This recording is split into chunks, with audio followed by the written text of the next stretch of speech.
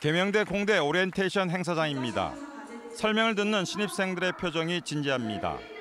학사 일정과 수강 신청, 학생회 동아리 소개부터 안전 교육까지 정보 제공 프로그램들이 중심입니다. 이처럼 계명대 신입생 예비대학은 캠퍼스에서 단과 대학별로 당일 4시간 가량 학교 생활 안내하는 게 전부입니다.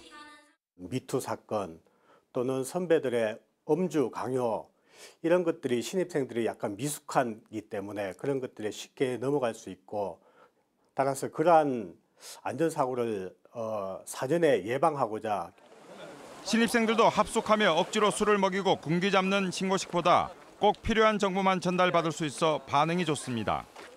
몇박 며칠 동안 진행을 하게 되면 학생의 노력과 음주에 대한 불필요한 통제가 필요합니다. 이게 아니라 당일 OT로 필요한 정보만 딱 전달하는 게 효율적이라 생각합니다. 대구대도 올해부터 신입생 캠프 행사를 하루 만에 끝냅니다. 입학식 날 수강 신청과 학과 프로그램, 학생회 동아리 소개만 한 뒤 마무리할 계획입니다.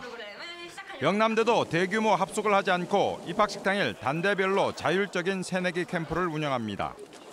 술과 군기 잡는 신고식으로 대표되던 대학가 오리엔테이션이 사회 변화와 학생 요구에 맞춰 실속과 안전 위주로 바뀌고 있습니다. TBC 정서욱입니다.